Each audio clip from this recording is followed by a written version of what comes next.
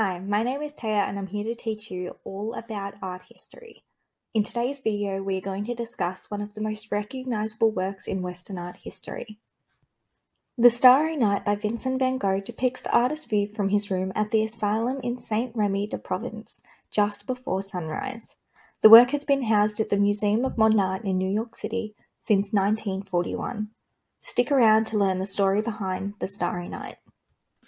The Starry Night is an oil on canvas painting painted in a post-impressionist style characterized by vivid colors, thick paint application, real-life subject matter, distinct brushstrokes, and geometric forms. You can see the brushstrokes create a sense of movement throughout the sky, maybe mimicking clouds or wind in the air. In the sky, you see a large moon surrounded by various sizes of stars. In the background, there are mountains with an imagined village added at the base. In the foreground is a large cypress tree that is a common subject in the artist's work. I have a lecture on the life and death of Vincent van Gogh, which I'll add in the cards and description, but let me give you a brief overview of the post-impressionist master. Vincent van Gogh was a Dutch post-impressionist artist who, after his tragic death, became one of the most famous and influential figures of Western art history.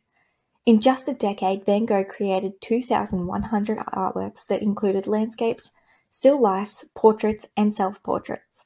His works are characterized by bold, expressive brushstrokes that heavily contributed to the development of modern art throughout the 20th century. Despite his posthumous success, the artist struggled severely throughout his life with depression and poverty, which led to his suicide at the age of 37. Learn more about the artist in my lecture on his life. Vincent van Gogh admitted himself into the St. Paul de Mausole lunatic asylum in May of 1889 after his famed self-mutilation incident where he cut off a piece of his left ear as a result of a breakdown. The asylum was housed in a former monastery and they catered to the wealthy. Due to only being half full, the artist was able to occupy both a second story bedroom and a ground floor room he could use as a painting studio.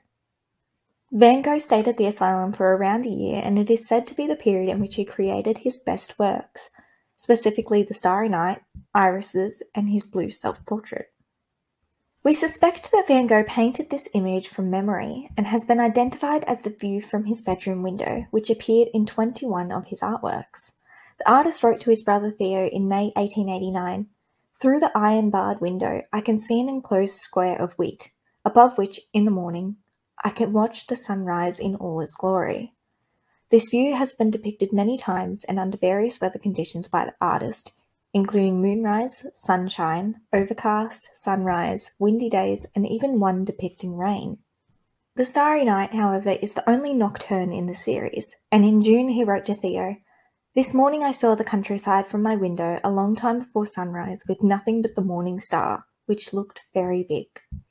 It is hypothesized that the morning star Van Gogh was referring to was actually Venus, which would have been visible at the time, so the biggest star in the painting is actually Venus. Here are a few facts about the work.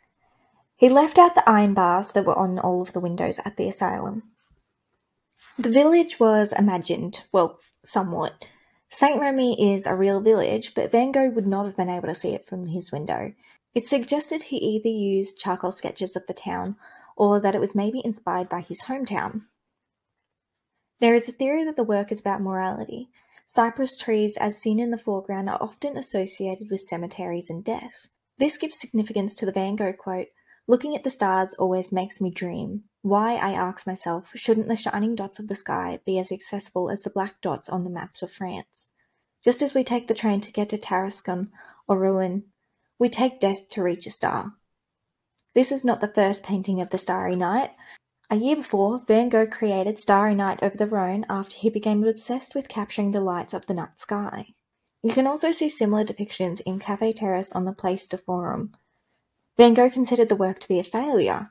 He wrote to Theo, All in all, the only things I consider a little good in it are the wheat field, the mountain, and the orchard. The olive trees with the blue hills and the portrait and the entrance to the quarry, and the rest says nothing to me. Thank you so much for watching today's video. Don't forget to like and subscribe for more videos just like this.